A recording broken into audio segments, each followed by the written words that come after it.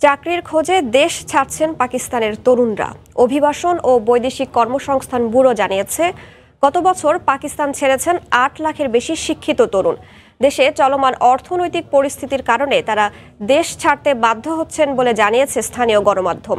মেধাবী তরুণদের এভাবে দেশ ছেড়ে যাওয়ার প্রবণতা সামনের দিনগুলোতে পাকিস্তানকে আরও ভোগাতে পারে বলে উদ্বিগ্ন দেশটির সরকার। উন্নত জীবন ও ভবিষ্যৎ সমৃদ্ধির প্রত্যাশায় চাকরির খোঁজে কানাডা সহ বিশ্বের বিভিন্ন দেশে পাড়ি জমাচ্ছেন মেধাবী পাকিস্তানি তরুণরা। এমন তথ্য দিয়েছে পাকিস্তানের অভিবাসন ও বৈদেশিক কর্মসংস্থান ব্যুরো। গত বছরই আট লাখের বেশি পাকিস্তানি চাকরির খোঁজে দেশ ছেড়েছে বলে জানিয়েছে সংস্থাটি। অভিবাসন ও বৈদেশিক কর্মসংস্থান ব্যুরো জানায়, করোনা মহামারীর আগে দু হাজার উনিশ সালে এ সংখ্যা ছিল ছ লাখ পঁচিশ হাজার আটশো ছিয়াত্তর। তার আগের বছর পাকিস্তান ছেড়েছিল আরও কম। তথ্য বলছে, সেই সংখ্যা ছিল তিন লাখ বিরাশি হাজার চারশো উনচল্লিশ জন। পাকিস্তানের বিশ্ববিদ্যালয়ে পড়াশোনা করা তরুণদের মধ্যে দেশ ছাড়ার হার পঞ্চাশ শতাংশের বেশি বেড়েছে বলে জানিয়েছে দেশটির স্থানীয় একটি জরিপ পরিচালনাকারী সংস্থা।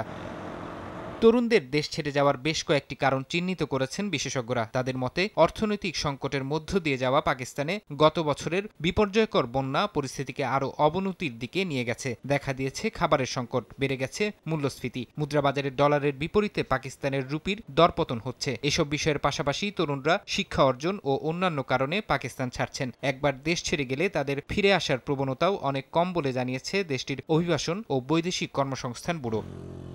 তবে এই অর্থনৈতিক সংকট থেকে বেরিয়ে আসার চেষ্টা করছে পাকিস্তান। আন্তর্জাতিক মুদ্রা তহবিল আইএমএফ এর কাছ থেকে ঋণ নিয়ে সংকট সামলানোর চেষ্টা করছে তারা। এ পরিস্থিতির মধ্যে শিক্ষিত, মেধাবী তরুণদের দেশ ছেড়ে যাওয়ার প্রবণতা সামনের দিনগুলোতে পাকিস্তানকে আরও ভোগাতে পারে বলে উদ্বিগ্ন প্রশাসন ও বিশেষজ্ঞরা।